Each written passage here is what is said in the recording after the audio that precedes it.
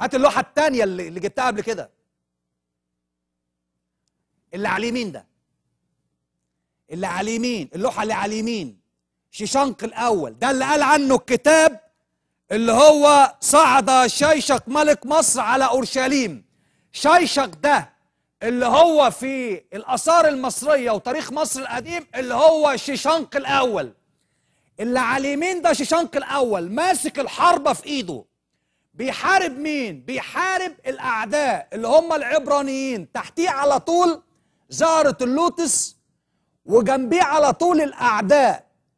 واقف بيقدم الأعداء دول قرابين للإله أمون. الشكل اللي أنا شايفه دوت ده في الحائط الجنوبي عند مدخل ال entrance بتاع ال Karnak Temple اللي قاعد دوت اللي هو في المنتصف ده المخصص. يعني إيه مخصص في الهيروغليفي؟ المخصص يعني ده رجل. يعني ده شيشانق الأول كان رجل. شيشانق الأول حاصر 156 مدينة اللي هو بيقول عليهم الكتاب المقدس مدينة يهوذا وبيقدمهم ك offering كقرابين لمين؟ لآمون. لأن آنذاك المصريين القدماء كانوا بيقدموا قرابين إلى الإله آمون. فإذا الشكل ده موجود في معبد آمون في الكرنك أقف عند شيشانق كتابه المقدس قال عليه إن هو صعد شيشق ملك مصر على أورشليم. شيشق اللي هو شيشانق الأول اللي مؤسس أسرة 22 خلي بالكم التاريخ ده 998 ل 924 قاف مين بي سي. ده اللي هو حاصر 156 مدينة من مدينة يهوذا وهذا الرجل قال عنه سليم حسن. اللي هو يعتبر من أحسن المؤرخين في التاريخ المصري الفرعوني. وعشان أقول سليم حسن أقف كده واقفة كده. المجلد ال 13 كتابات شيشانق أو شينشق الأول. اتقال عنه شيشانق اللي هو في الكتاب المقدس. قال اسلم حسن. أنا هربط باللي أنا هقوله دوت وبين نبوة أشعياء 19 هقرأ الأول نبوة أشعياء 19 وهرجع إلى شيشانق الأول وكتابات شيشانق أشعياء 19 وده نبوة عن مصر بداية من العدد الثاني. أشعياء 19 العدد الثاني وحي من جهة مصر. هو ذا الرب. راكب على سحابة سريعة وقادم إلى مصر فترتجف أوسان مصر من وجهه ويذوب قلب مصر داخلها. وأهيج مصريين على مصريين فيحاربون كل واحد أخاه وكل واحد صاحبه مدينة مدينة ومملكة مملكة.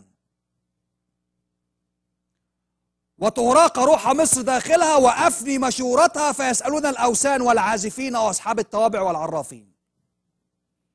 وأغلق على المصريين في يد مولى قاص فيتسلط عليهم ملك عزيز يقول سيد الرب الجنود. فين المملكة اللي قامت على مملكة؟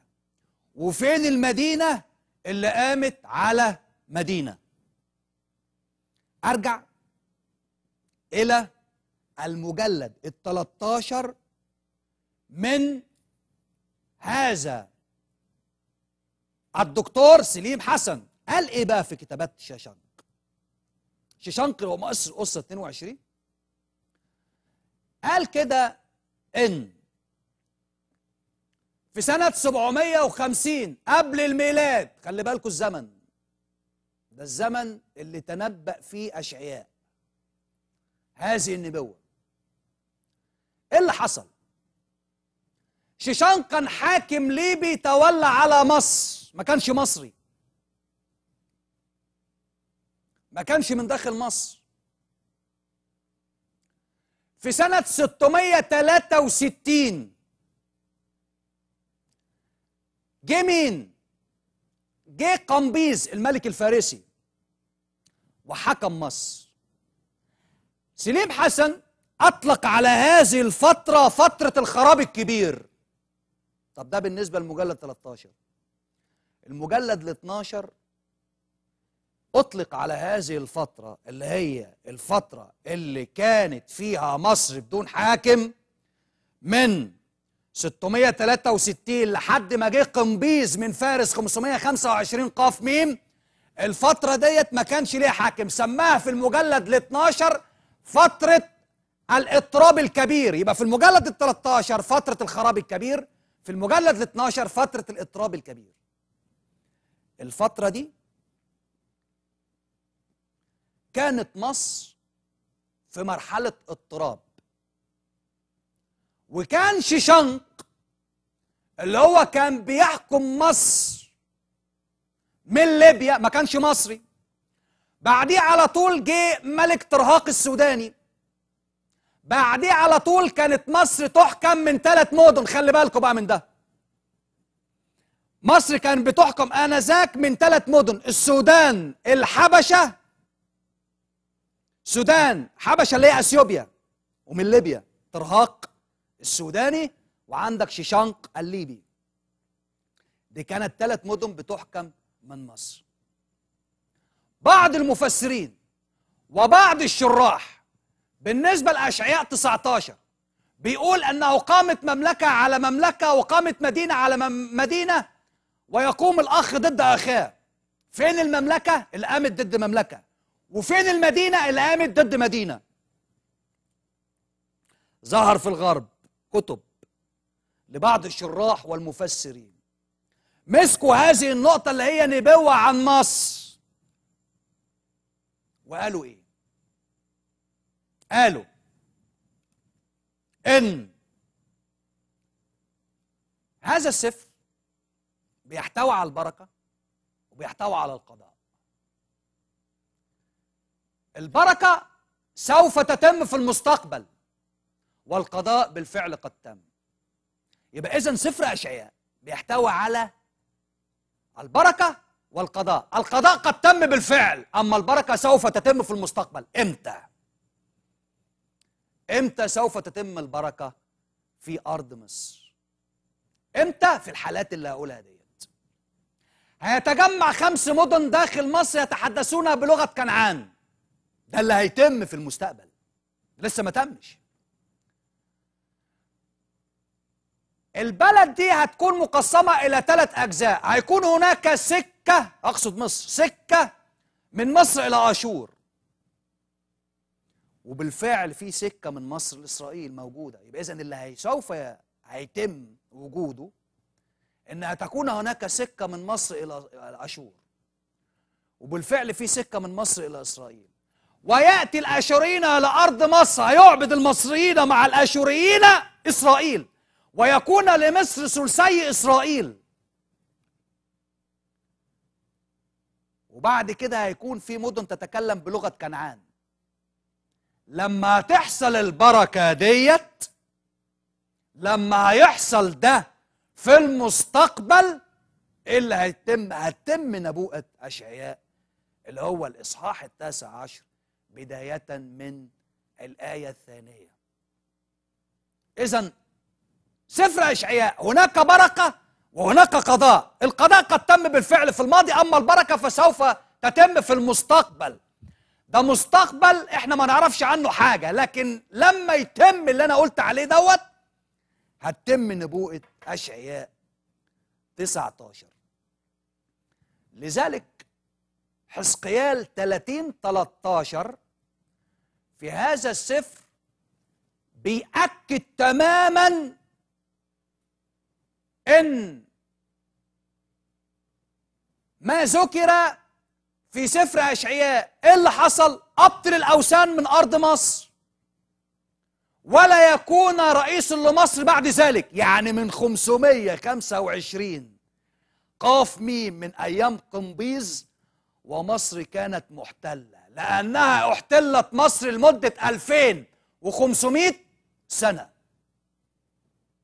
هذا الاحتلال من ذاك الوقت لم يكن رئيس لمصر من أرض مصر فتتحقق نبوة حزقيال نبي الله في الإصحاح الثلاثين الآية الثلاثة وبعد ذلك لا يكون رئيس من مصر.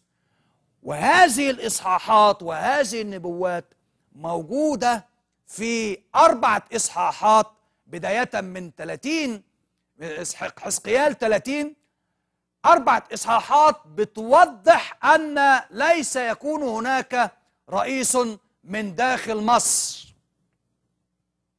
سرد في دقة متناهية في أحداث الكتاب المقدس وبين تاريخ الفرعوني والتاريخ خصوصا تاريخ مصر القديم. يبقى إذن هذا الملك شيشق اللي هو الحاكم الليبي اللي صعد على أورشليم هو هو الحاكم الشيشانق الأول من الأسرة 22 هات لي شكل تاني. اللوحة أيوه.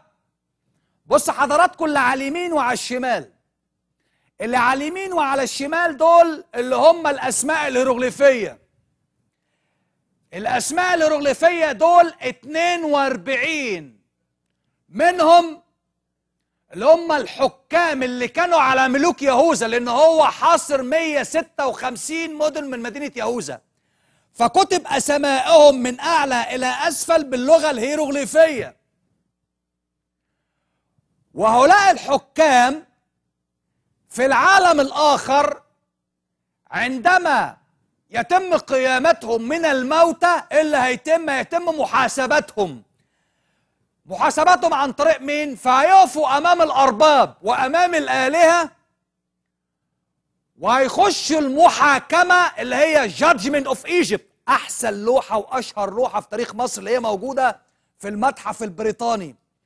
المتحف البريطاني اللي هو في إنجلترا في لوحة اللي هي مرت طولها. اسمعوا بقى اسمعوا الطول.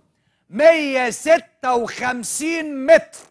لوحة من البردي العالم كله يجتمع داخل المتحف البريطاني. أي حد يخش المتحف البريطاني لازم يتفرج على هذه البردية اسمها بردية متري.